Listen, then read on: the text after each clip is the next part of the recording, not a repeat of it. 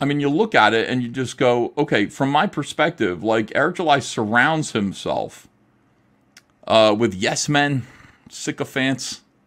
I know people say that. That that happens when you're kind of popular, but you still need to be able to listen to criticism.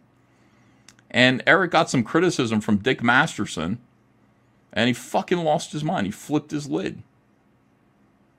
And uh, I said to him, I said, look, I know that that was painful. I know that you don't like Dick Masterson, but uh, the stuff that he said was pretty smart. And, you know, maybe you should listen to some of the problems. It's criticism. The best criticism does come from people who uh, dislike you and want to take you down because uh, they're not going to give you criticism that's bad. They're not going to sit there and say, you know what you should do is just kill your main character.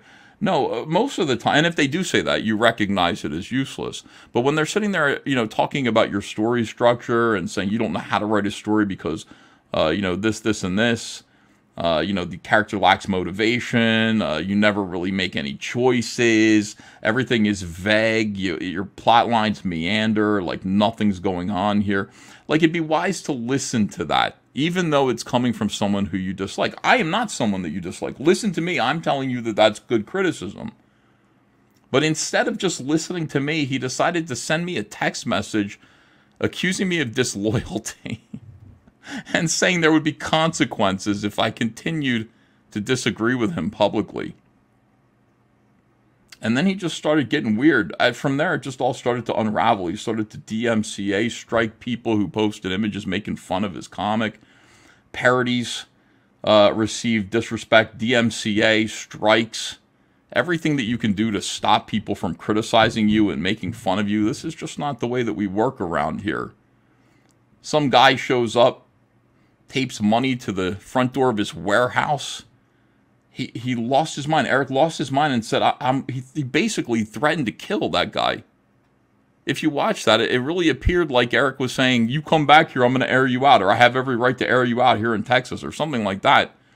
A lot of people took that as like, Hey, you're threatening to kill that guy. And then the, the, your fans were saying that they had the right to kill you, or to kill that guy. Just fucking weird. He was just a jokester, he's a prankster. Practical joke.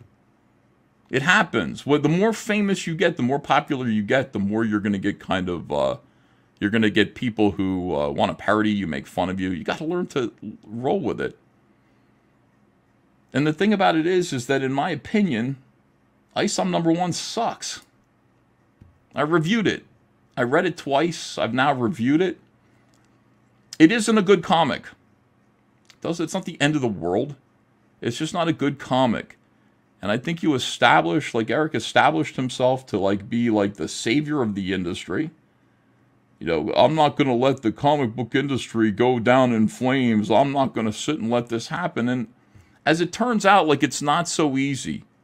It isn't so easy to make a comic book. And all these guys who are criticizing comics cannot do better.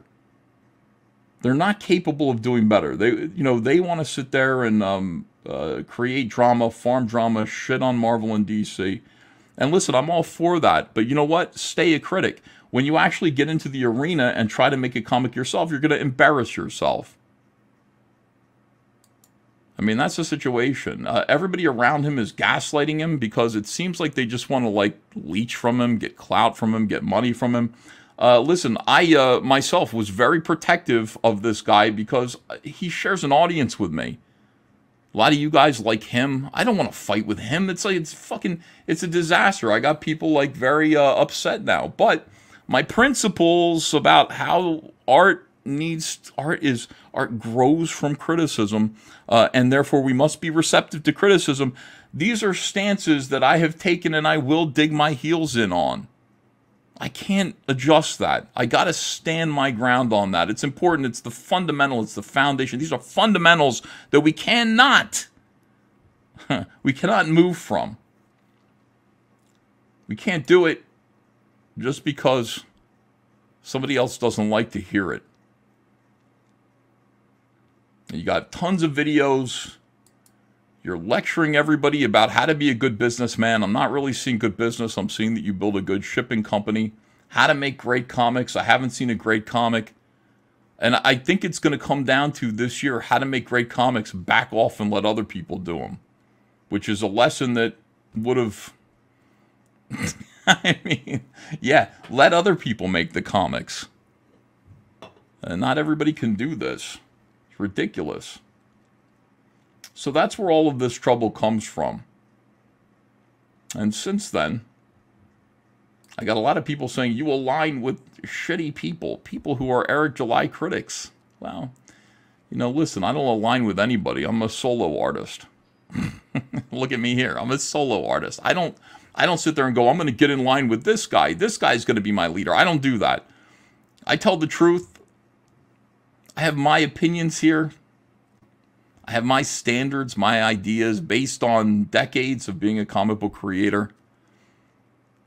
And uh, I stand by those. I got to stand by those.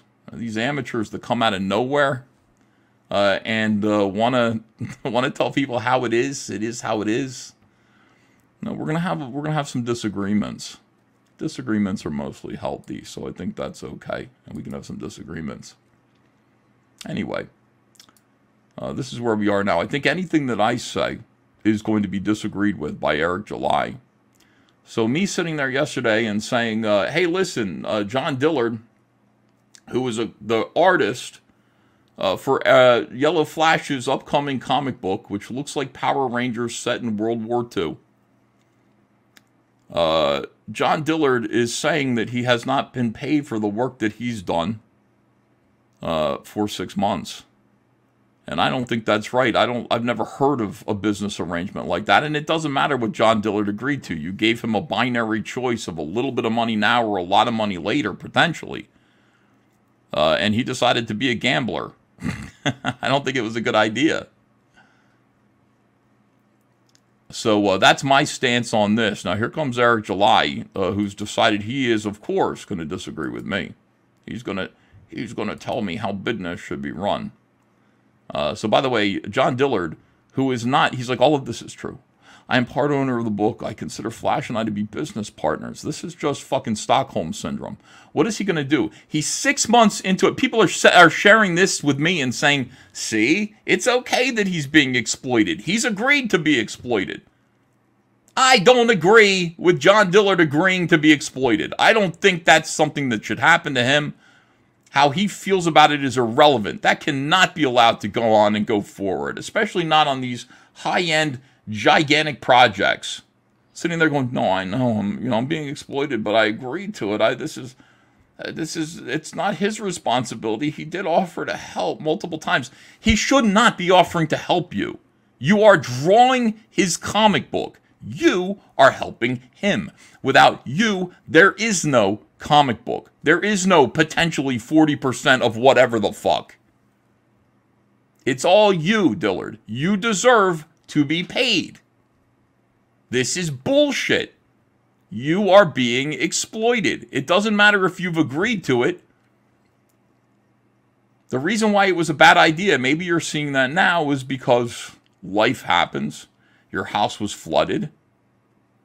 You're in a trailer uh, in the backyard currently while your house is being. This is why. If you had an income, six months worth of comic book pages might have been able to uh, make a, a better difference. You would have been good. Now, here's Eric July disagreeing with me saying these things. Let me just see. I haven't read this yet. this is intriguing, he says. Is it? Is this a matter of intrigue for you? Uh, I love to talk about the economics of comics, so I figured I would chime in. I got nothing but love and respect for Flash. Do you? You respect Yellow Flash? Eric, Do you seriously respect Yellow Flash? You love him? You have respect for, for that guy? See, it doesn't, this is all like, it's all kind of YouTuber influencer behavior. If Yellow Flash had 20,000 followers, would you still love and respect Yellow Flash? He's got 450,000. I love and respect him. Okay. Uh, and Dillard was our second place winner of the ISOM number two fan art contest. You know why? Because he's trying to get somewhere. That's why Dillard is trying to make some money and become a comic book artist that makes money. Let me first start by saying it was screwed up that people tried to weaponize Dillard's financial situation. Now, hold on, asshole. Hold on a second. The reason why we're talking about Dillard's financial situation is because it only exists because Yellow Flash isn't paying him. And the reason why Yellow Flash isn't paying him is because he is, well, number one, maybe he doesn't have the money to pay him. I don't know. But here's what here's why it's relevant to me. He's buying into and promoting your ideas about how crowdfunding is hanging on to the people's money. And this is the new model. My model is to make the books and then sell the books and use the money I already have to make the books and sell the books and pay my peeps. And that's what I'm doing. And Yellow Flash, by the way, everybody goes, You're making books and you're selling them to us on time? That's great. Meanwhile, they're just shit. And here, like, Yellow Flash is buying into that now. Yellow Flash thinks the future of indie comics is the way we made mainstream comics. He's bought into this whole diatribe. And so, you know who's paying for that? Not Yellow Flash. Dillard is paying for that. That's who's paying for it. You know who's paying for these ideals? The little guy. All of this stuff about, you know, uh, late books, crowdfunding being, uh, you know, mo crowdfunding, uh, Eric July making fun of crowdfunding. You know who's paying for that? The little guy, the guy who actually needs to get a paycheck. These guys, where the comic book is just kind of like something else that they're another kind of piece of YouTuber merch that they've written, and now they're they're, they're hiring artists. These guys aren't paying the brunt of that. The idea that crowdfunding uh, might become less popular because Eric July is making it uh, look like it's a scam. You know who's going to pay for that? The little guy who can't afford to make a comic book but actually has a good idea with good characters. That's who's going to pay for that. So uh, convenient for everybody here. Uh, okay, not because they cared about Dillard, solely to attack Flash. Exactly correct. I'm not a big fan of Dillard. I don't know Dillard. I just saw him on uh, video uh, saying that he was working on a comic book by Flash, the asshole that was currently attacking crowdfunding, and me. So you're quite right. I did it entirely to attack Flash and say, what the fuck is the matter with you? And if the fact that it helped Dillard, and I think it will help Dillard, uh, is a good thing. They that roped him into some BS, and I'm glad he cleared the record. He didn't clear any record. but let's talk money and ownership. He didn't clear any record. He said, Yes, I've agreed to be a slave. You realize you're a slave? Yes, but Massa treats me real well. I agreed to this. My father worked on this plantation. So do I. This is what I know. Okay.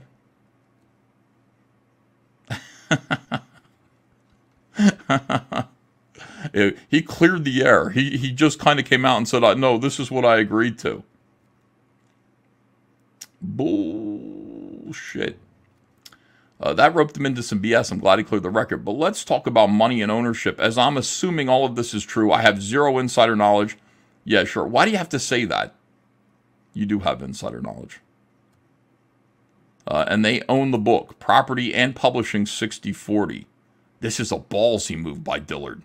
And I respect it. Son of a bitch. Can you believe this? This is ballsy. I, I respect an artist. I respect an artist who's going to go do work for us for free for promise of money on the back end. That is ballsy. That takes balls, boy. you got them big old balls. Respect. It's like when somebody gives him like a $500 super chat. I respect that. Why do people buy into this shit? Why do people buy into this? You respect this? He can't pay his bills, Eric. I respect this ballsy move by John Dillard.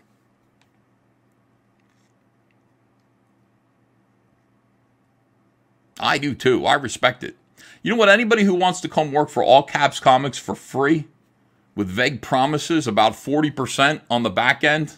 Well, 40% of what? Like, is it like 40% after? Pro- Who decides what profit is? Like, how? No, 40%. Anybody who's willing to come work for me for free, I respect you. I know it might sound self serving when I say that me, as the employer, as the guy who is uh, who stands to make money off of your labor, and it is a lot of labor. Making a comic book is a lot of fucking labor. It takes a long time. I just want to let you know that if you're willing to work for free, respect. You've got balls.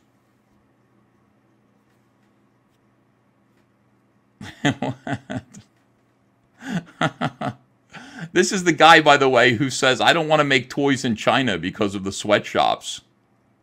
Oh, yeah? But you're going to let Dillard work in a sweatshop for Yellow Flash? You respect him? I respect those Chinese uh, sweatshops. That's a ballsy move. Respect. Respect to the Chinese, to the Chicoms.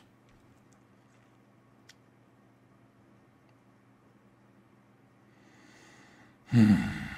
Uh, here's this question. But isn't it an artist's responsibility not to accept backends? Um, yes, it is. Dillard should not have accepted this. But you know what? Yellow Flash shouldn't have offered it. It was exploitative. When you say to him, I'm going to give you a little bit of money up front, or you can have 40% on the back end, that's your choice. That is an exploitative deal. That is a creepy deal. That's not the way any of this works. Shouldn't be. Artist, you have to understand. It takes time to make a comic. And while these artists are making the comic book for you, you need to make sure that their bills are being paid. So you pay them by the page. It's a little carrot and the stick kind of proposition, too. Give me another page, and I'll give you a bite of the carrot. Let's go. That's kind of how it works. Yes, it is his responsibility to say no. But you know what? The fact that he didn't say no does not acquit Yellow Flash or Eric July of supporting this. Uh, I respect it. Instead of having Flash take 100% of the ownership and paying him in the form of a commission, he's waiving that to take 40%. Is this risky? Yes. But if this reaches anywhere, anything near the potential, he's going to make far more money. Assuming that's the split, it won't take long at all for him to make what he would have made on commission while also maintaining ownership. Bullshit. This is just fucking, this is snake oil bullshit. How about this instead of that, Eric? Would it not be superior to give him both? This is like fucking Amway. This is Amway. Oh, how are you going to go? Okay, here we go. I've seen some people say, but he should have been given an advance, which makes zero sense and is only being brought up because of Dillard's situation, which he rightfully acknowledges is completely irrelevant to business. Guys, if you still support Eric July after this, I don't know what to say. This is some slimy, schemy shit. This is some bullshit. This is Yellow Flash's comic book. It's his idea, it's his IP. The legal entanglement of putting Yellow Flash and John Dillard on the same plane of ownership is already going to fail. It's already doomed to fail. There's no possible way that that's going to work out. When it comes to these business deals here, these arrangements, when it comes to making a comic book, there has to be one owner and one freelancer. One guy who's working for hire and one owner. Now, it's going to be a tremendously successful book, we all assume, but there's still one owner. This is Yellow Flash's risk. It's not John Dillard's risk. Him sharing Yellow Flash's risk is not appropriate. You take the risk with me too. You're going to be working. If Yellow Flash, if this book doesn't make any money, you know what happens to Yellow Flash? He loses an afternoon's worth of work.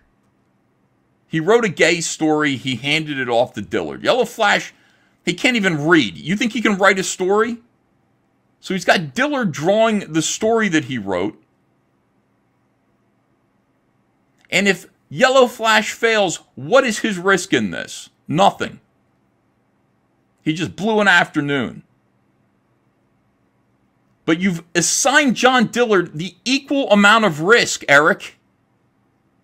And he has to draw the fucking comic book. And all of us know, except for you, how difficult it is to make a comic book. It takes time to draw a comic book. It takes effort. Not everybody, and John Dillard, by the way, doesn't trace 3D assets. Now, listen, if John Dillard wanted to say, you know what, I'm going to make this comic book for you, I'm just going to run a bunch of fucking 3D assets through a filter and call it a comic book art. It fooled Eric, it, it'll probably fool Yellow Flash too. Then that might be a thing. Then John Dillard has put an equal amount of energy and risk into this as Yellow Flash and vice versa. But John Dillard sits there with a piece of paper and a pen, and he's got to fucking draw every single day. Every day, I'm fucking drawing another panel. It's work. It's a ton of work. I respect you. I respect you for not asking to be paid up front for any of this. I respect you for letting your family starve so that Yellow Flash can make YouTuber merch, some vanity comic. Respect, man. Respect from Yellow respect from Yellow Flash. I love and respect Yellow Flash. And also respect to the guys, to the artists who are willing to let their families fucking starve so that we can make YouTuber merch. That's respect. Respect from Eric July.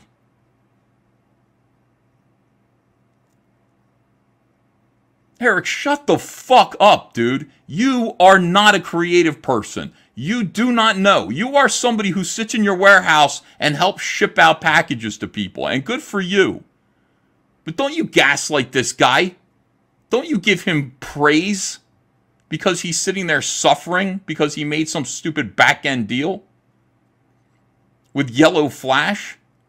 You think this is going to last? This comic book was supposed to be solicited, not solicited, it was supposed to be crowdfunded in October. That's what he was told. He was told, we're going to start making money in October. Presumably, there would be money at that point. Start crowdfunding in October, two months. That means December. By Christmas, Dillard would have had 40% of his money. He'd have it in his hands.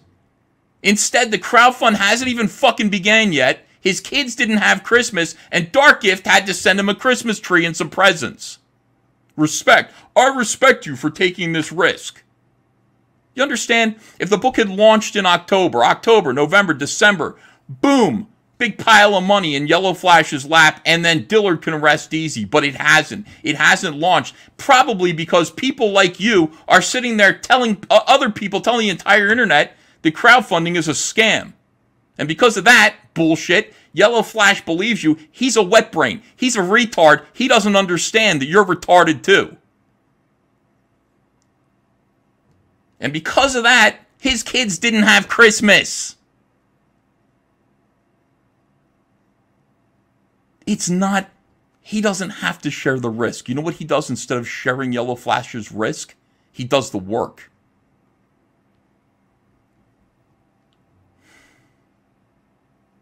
I just like to talk about business, so I think I'm going to drop my two cents in here.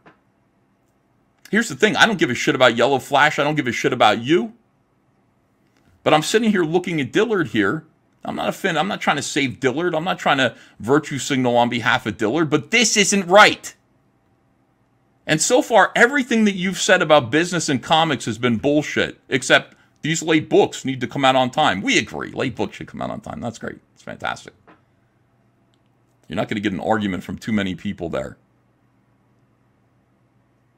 Telling people that they should take these ridiculous, vague back end deals while they invest at least six months into a project that may or may never come out while their families suffer. That's shameful.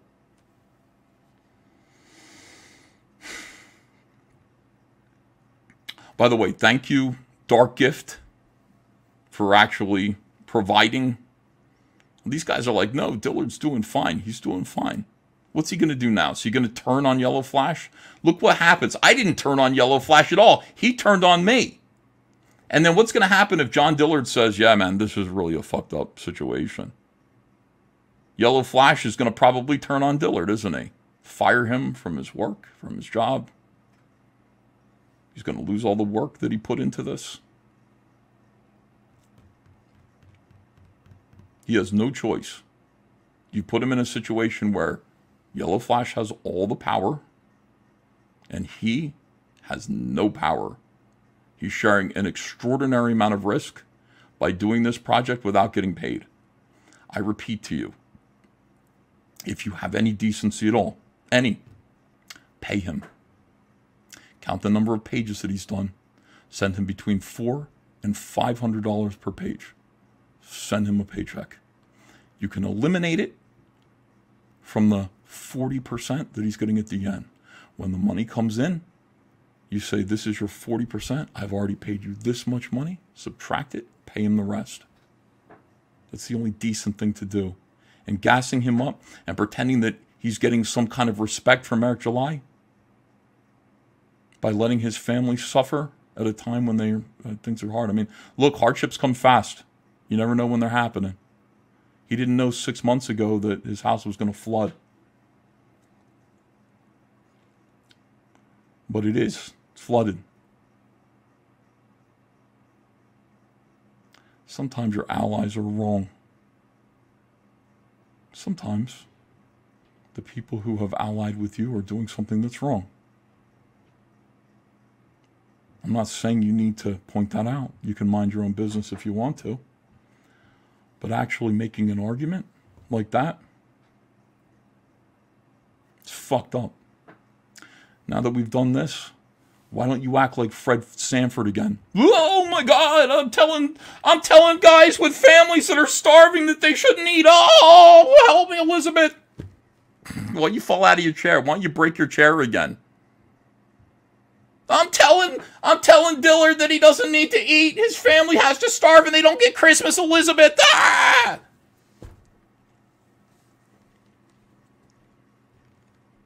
Let's see another video like that, you clown. Don't stand by this. Jesus fucking Christ. Why do I have to be the one to do this? And then I get pushback from people. I actually get pushback from people who have power and influence. it's so stupid. Welcome to the show, everybody. It's Comic Artist Pro Secrets. I am Ethan Van Sciver, 31 year veteran of the comic book industry, somebody who pays my artists, including my sculptors. People who come to me and they say, if I come to if I come to somebody and say I'd like you to make a Cyberfrog statue for me, Cyberfrog action figure I'd like to make. Look at this, great job that he did. Uh, I pay them regardless of whether or not I can afford to make it. I do it because I use crowdfunding, but they get paid. Um, they get paid. I already paid for my Rainbow the Brute sculpture by the same artist. He already made it for me. Um, whether or not that funds, he is not the one taking the risk. He got paid already. I paid him for the sculpture. Some people do not pay their sculptors. They have a fanciful idea that they might want to make a sculpture of a beautiful, sexy woman with ice powers, and the sculpture gets made. And then some people, two, maybe not many, disappear on them. Four figure paycheck doesn't materialize. And I don't want to say too much. I, all I want is I want this guy to receive his money. So uh, I don't want to get too much into that. I just would like to check with him and go, Did you get paid? And I'd like him to say, Yeah, thanks. I did get paid. We're not all sharing risk with creative people. We can't do that. You you you make a comic book for me, you make a Cyberfrog toy for me uh, you make something for me, I'm gonna, I'm, I gotta pay you. If I don't pay you enough, let me know. If I miss a paycheck, let me know. If I miss something, let me know. I'll pay you right away.